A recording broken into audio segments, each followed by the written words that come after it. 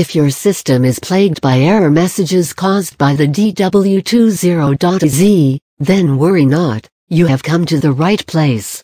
Read this article to know how to remove the DW20.exe and get rid of this error reporting tool.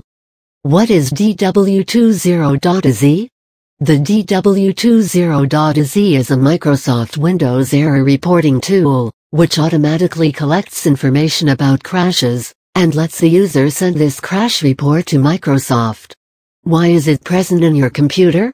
The DW20.exe shares the crash reports of Microsoft Office and other applications with Microsoft. This helps Microsoft in fixing those crashes and eliminating them in the next software version. Can it be removed safely without affecting other applications? Yes.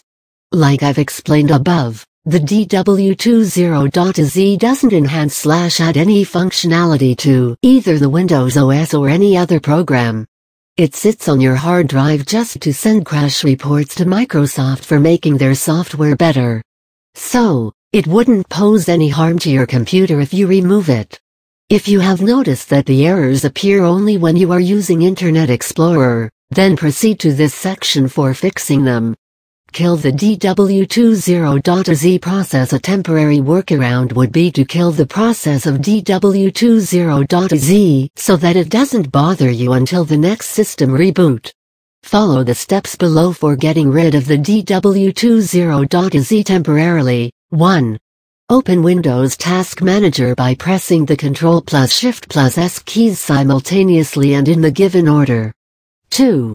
Go to the Processes tab and find DW20.exe single quote. Right-click on it, and select End Process. Again click on End Process on a window that appears.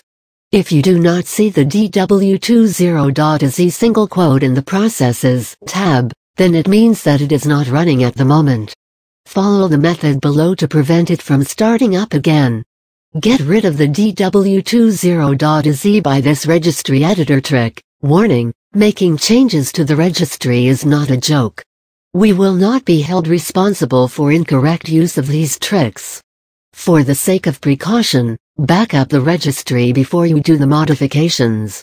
So, if things go wrong, you can restore it back to its previous state. Making these changes via the registry will disable the DW20.exe application error reporting tool from starting up ever again. Navigate to the following entries in the registry editor and add reportee. Value of single quote 1 single quote. Key underscore local underscore machine Microsoft error reporting software Microsoft error reporting backslash DW key underscore current underscore user Microsoft error reporting backslash DW key underscore current underscore user policies pchealth DW congrats. You've disabled the application error reporting tool permanently.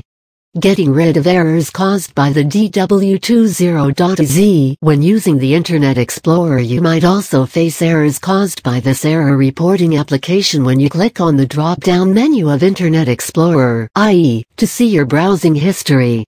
IE will freeze and you'll see a pop-up with two options, allow and don't allow. Select any one of them and you will see another error.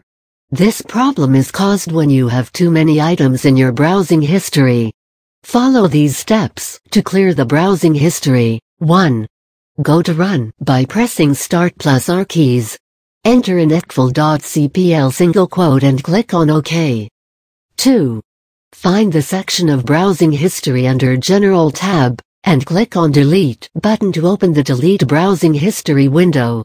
Shortcut method for opening Delete Browsing History window Open Internet Explorer and press the Ctrl plus Shift plus Del keys.